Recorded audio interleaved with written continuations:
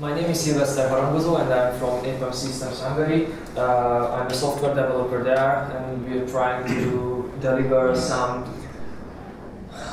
enterprise solutions for the world and therefore I'm here to deliver you some kind of uh, knowledge, some kind of best practices how to use async in a way because I know there is uh, the async and await keywords will be soonly or laterly be introduced into C++ and therefore I, I intend to make these mistakes that uh, can be lurking around uh, before you do. So uh, this, this talk will be about those topic.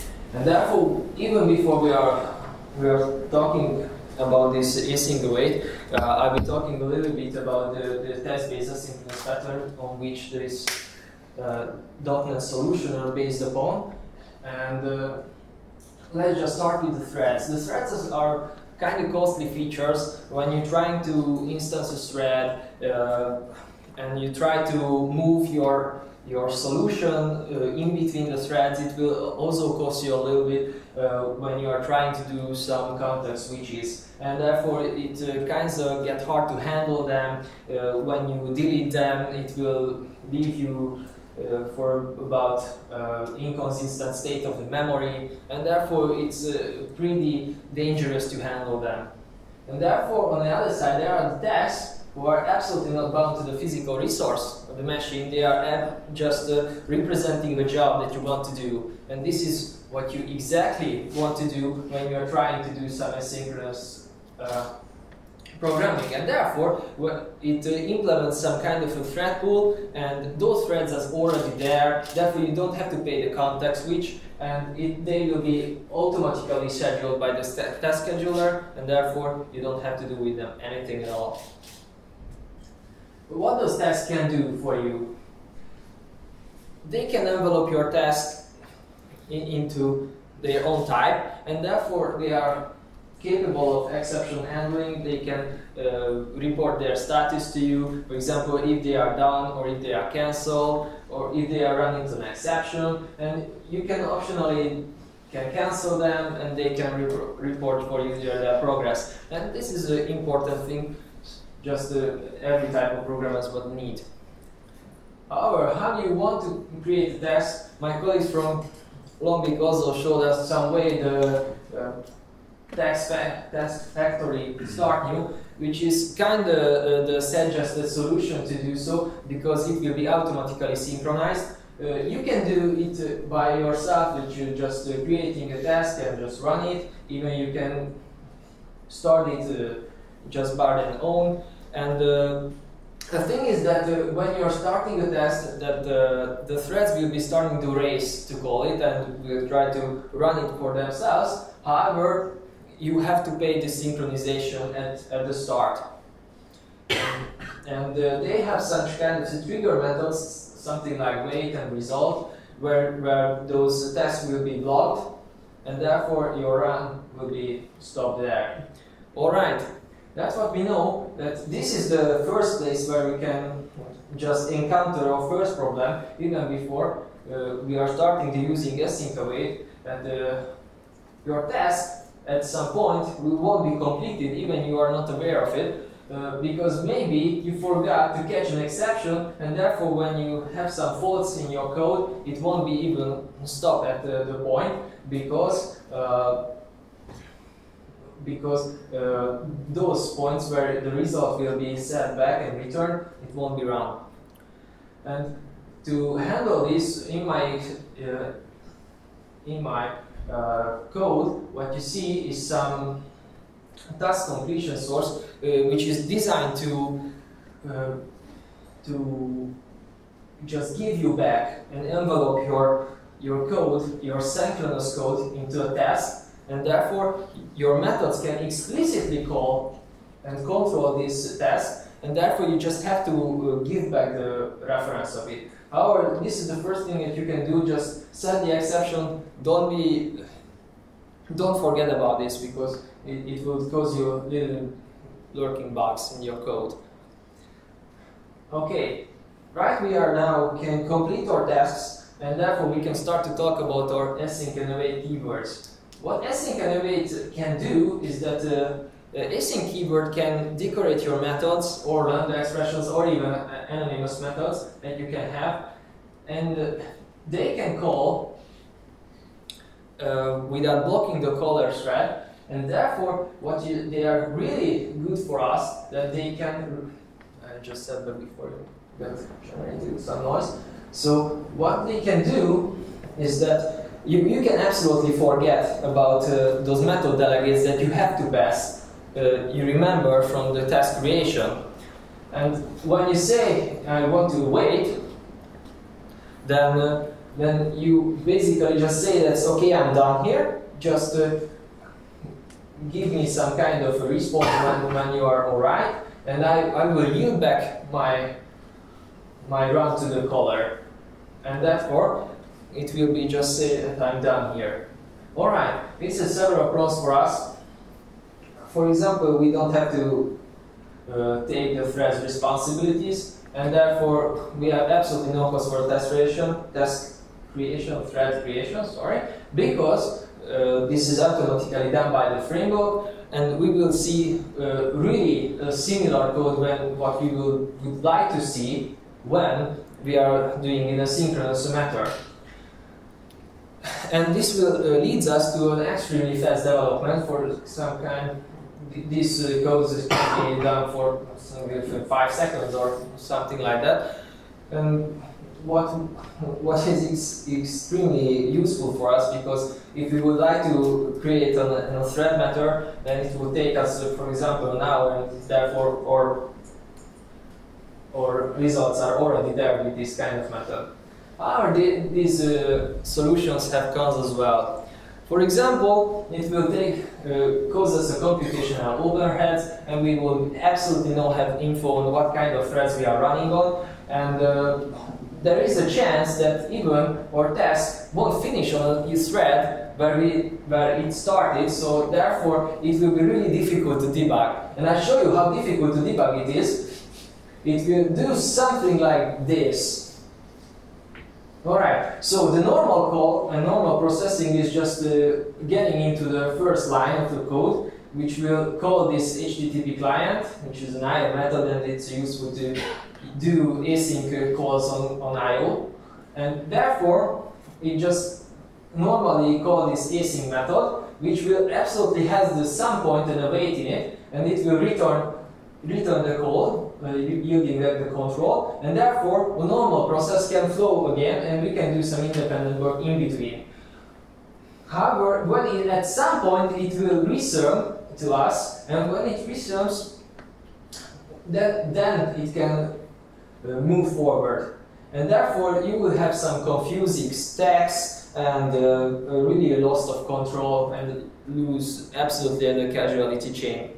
But uh, before we are uh, going on this uh, into its problems, I like to do some side trip that what actually happens. Luckily, C Sharp is a, really high level language and therefore we can decompile what's, uh, what's been generated by the compiler and this is actually the decompiled code what we had from this code. And what the compiler generates for, uh, generates for us is some kind of an async state machine which will be uh, representing our asynchronous call and in its async state machine there will be a move next method. And therefore in in every await that uh, that is our method head will be represented by a state. And when a state change occurs then uh, this move next method will be called and therefore uh, this is how state machine will progress. It's uh, kind of hard to understand at first sight, however, it's not that uh, problematic. However, the only takeaway message is here that from every method you make, there will be a seal class generated out of it, and this will cause you a computational overhead. Alright, and this is the first pitfall that we have arrived yet. And so, just consider, here is our async method, with a void return, and it uh, just uh, throws an exception for us. And the question is that will this code pre-fail because here where we call it, we will try to catch the exception. The answer is no. This async, async void is, uh, even though it's useful for event handlers, it will just do some fire and forget mechanism, and, and this code, whenever this operation was inside the async void, will be never cached before, and this line will be dying uh, very miserably.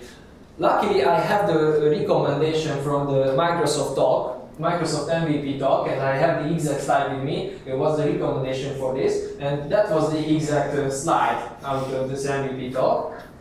Just forget about to do it, and please put the task and return the task from an async method.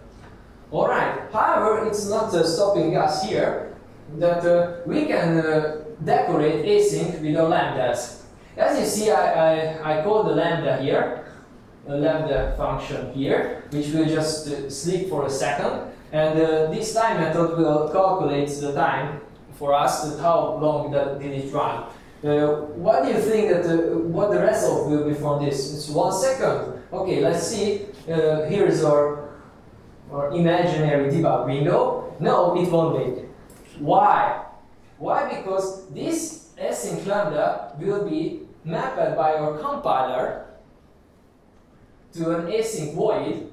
Why? Because this action here, what we're getting is a type of a method delegate, which are which our time method accepts, uh, does not uh, handle the task as well. So right now what we have to do is even to change the signature of our time, uh, time calculating method to catch the task, which is this kind of a functor which returns us the task.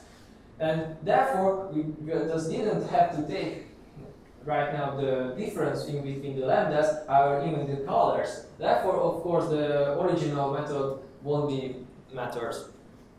But wait, there's more about this async lambdas. For example, if you call, as I said, the suggested method, the task factory, and you call here an async lambda, what do you think the type of the u will be? As you see here, right, it returns some kind of an integer, so it will be returning us some task in result, some task integer. So what will be the result of this?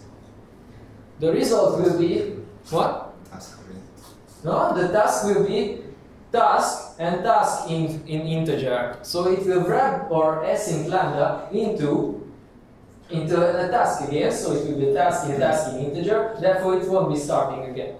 It will do nothing. So therefore we have to avoid this task nesting, and for that we have this beautiful unwrap method that will do the trick for us. Just don't forget to do it. Okay? Okay, the other point is how we would synchronize our tasks. Right now, or the here on my snippet, I, I prepared for you. I, I call the task. I, I put the on the console that started and wait for the task to finish, and I say it's complete. Okay, inside our async task, however, here is the thread thread.sleep. And if you remember what happened, here, this will be the, the result because without some synchronous, synchronous uh, uh, stuff to do be even before the await call. Just to uh, be warned, even before you are doing some kind of a hard work and you're trying to delegate to another thread or you're trying to delegate to the IO something, don't forget to yield back the yield back the control for your caller as before, and this will just this is just a method to do this. However, I I assume that you will take the burst await even before the hard work just have to do. All right, and here is my I think the hardest slide to understand. Right now here I, what I made is uh, some kind of a web API with an ASP.NET uh, call. And the problem was here that uh, this call will be, will be running into a deadlock. Really just a simple sync and nothing to do with that. How, how this is, uh, how is this calling? That's because uh, when I'm calling this uh, synchronous get, what I did was I, I synchronized my tasks uh, on the ASP.NET request context. Therefore, therefore, uh, what it does, it will go uh, call the request context thread. It say that to just run my test, my test will start, and here the client won't answer instantly. Therefore, the await will yield back yield back us to here, and this will in here where we're trying to uh, wait for the result, the the original call will block the context thread. And therefore, here, when the eventually when we our result will came back, what will happen? Our context thread will won't be ready, and this will be waiting for the context thread as well, uh, which is kind of bad because we, we will be running into deadlock. We can do that we call a configure await false after every await we do. Uh, this is just a hack because uh, uh, you would have to do it all the way down in your second part or third part API or, or every libraries you're doing and you won't be able to do that because we will use binaries. So you will see a lot of suggestions to use this, but please don't. The correct uh, solution for this that you can define an asynchronous test, and therefore, if you are calling from the top level your text asynchronously, therefore, uh, you absolutely changing what your your uh, waiting behavior, and therefore every await, even the first before you introduce right now, will be an asynchronous wait. Okay, and right now I I arrived for my my favorite one. And the last thing I think so, what I want to show you is that uh, what will happen if you if you mix the await with the the compound assignment. Here I, I prepared with some kind of an accumulator, and here right now is there is Bob and Alice, and uh, Bob calls the, his test with 2, and Alice will call her test with 4. And right now I, I get to some what will be the result of this call? Because right now the accumulator we try to summarize up their results.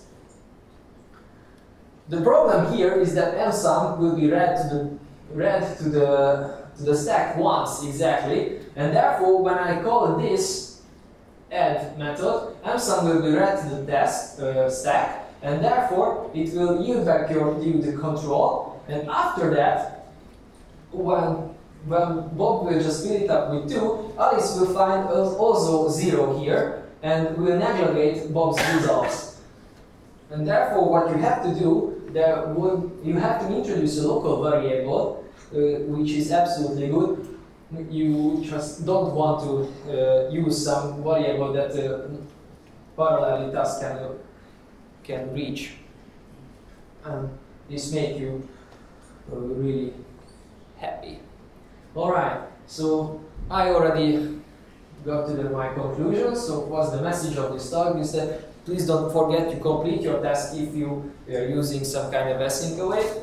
And watch out for the signatures and change them everywhere, especially where the voids are. And be aware what your synchronization context is.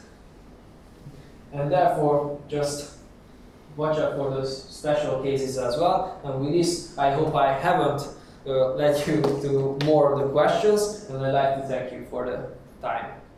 That's it.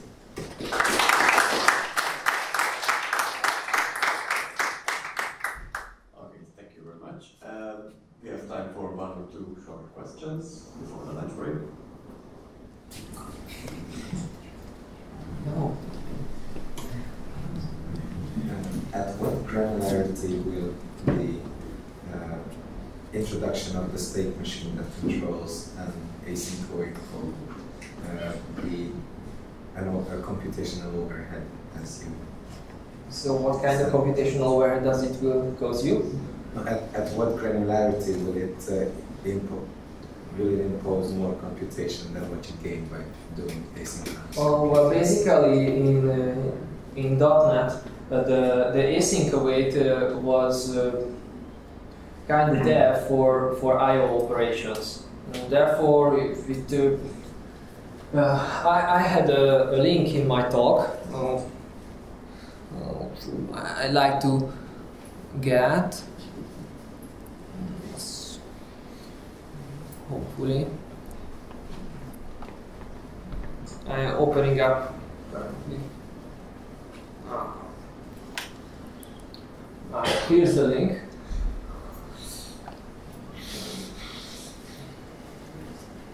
What I have. This is our colleague, and he actually tried to uh, calculate the the overhead what it does, and it was uh, kind of tremendous. So I I, really suggest you. So he said he done some kind of uh, plus equal asymptoid, asymptoid. See, uh, it it was. Uh, it was seen by I think it was ten times much more for the, this kind of a, a really small uh, method that he called. As you see, even 17 times as much. However, this is a constant wrap up. So if uh, I assume that uh, maybe you should try it to to to check on smaller environments, and therefore if uh, if uh, your code will call, your code code will uh, exceed this limit, then you just easily can transform your code into async state. The reason I asked because I saw uh, I uh, checked multiple async asynchronous programming uh, talks uh, regarding C++ and it's a technical specification, so it didn't make it into 17, C++ 17. But both the Clang and the Visual Studio implementation, they say that launching an asynchronous method and is uh, roughly on the, uh, it roughly takes as much time as invoking an ordinary function. So they say that it is completely fine to have millions of asynchronous tasks in flight at the time, and it's it would just execute like if you would invoke one the same function one million times after the other. So that's why it's very interesting to see that in C Sharp it has a very different impact on the performance. Oh, well, maybe in C++ it's a different implementation. You know, when async methods can be uh, implemented in various ways, uh, such like resumable methods or or with callbacks. Uh, if the C++ uh, implementation will be smarter than an async state machine, then I assume that much of the problems will be get rid eventually. This is matters of compiler. Okay, so let's take the speaker again.